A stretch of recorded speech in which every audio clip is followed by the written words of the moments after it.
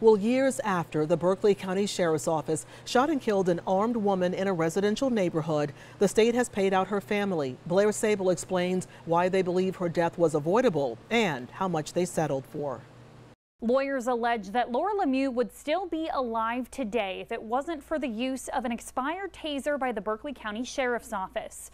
Her family, after alleging gross negligence for failure to maintain its equipment, has reached an agreement with the agency to the tune of $90,000. People who live in the St. James Estates neighborhood in Goose Creek reported that Lemieux had been randomly firing guns one November evening in 2015 and called 911. Lemieux had been staying with a friend.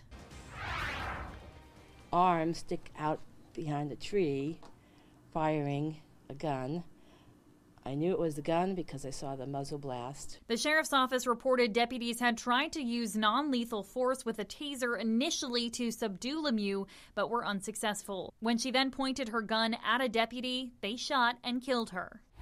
A lawsuit filed in 2017 blamed the use of an X12 taser and its projectiles that had been reportedly expired for two years as the reason deputies had to resort to using deadly force. Taser discontinued the use of X12 and its shells in 2012, and according to court documents, issued a warning that use after expiration could result in malfunctions and lack of effectiveness. In a filed response, the department denied the taser was used out of date, and deputies testified they had even seen it working on Lemieux.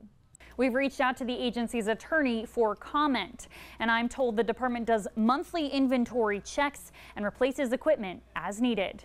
For Live 5 News, I'm Blair Sabol.